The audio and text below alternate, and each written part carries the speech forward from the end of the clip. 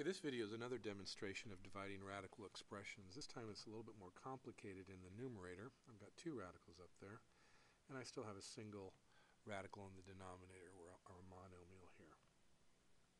You remember from a previous video we talked about never leaving a radical in the denominator. That's also called rationalizing.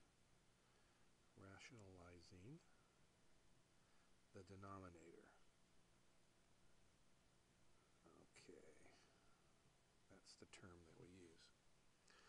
Okay, so like we did previously, we're going to multiply by something to get rid of that radical. And we normally like to multiply by a 1 of some kind.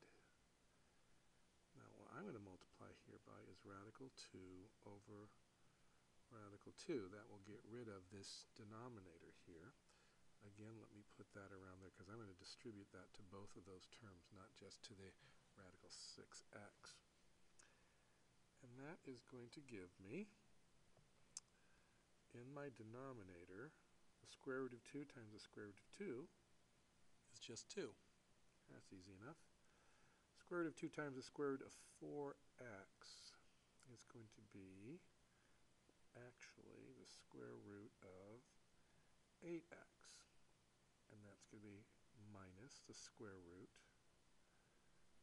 12x. Now some of you might be tempted to say if I've got square root of 8x and minus the square root of, of 12x, I got the square root of negative 4x, and that's not correct, right? You can only subtract radicals when what you've got is exactly the same underneath, okay? So what we're going to do is we're going to treat these individually right, and see if we can maybe simplify them separately, and then maybe somewhere down the road we can put them together. Now, in the square root of 8x, I see a perfect square. I see the square root of 4, and what I've got left over is the square root of 2x. Let's do it that way. In here, I also see a perfect square. I've got the square root of 4 times the square root of 3x. When I take the square root of 4 in my next step, I'm going to get 2. And then square root of 2x. Minus 2, again the square root this time, of 3x all over 2.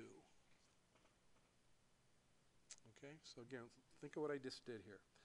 I looked at 8x, I looked at 12x, and I said there's a perfect square factor in here. So I pulled those out, took the square root of 4, made it a 2. In both of those, was just lucky that I had them in both. And then whatever I had left over, I left under the radical. Okay, now, in step 6, this looks like I got a lot of 2's running around here, and I do. So what I'm going to do, I'm going to pretend that's a binomial. Well, I don't have to pretend it is a binomial. And I'm going to factor out 2. That gives me radical 2x minus radical 3x.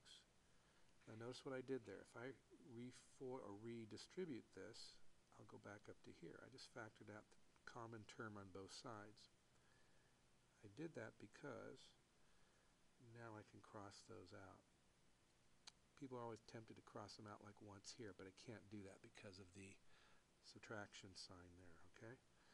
My final answer in this problem is going to be the square root of 2x minus the square root of 3x. And that's actually the final answer.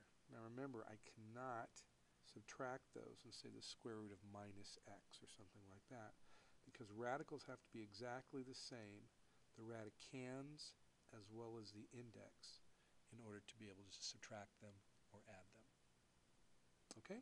I hope that helps, and good luck with the next problems.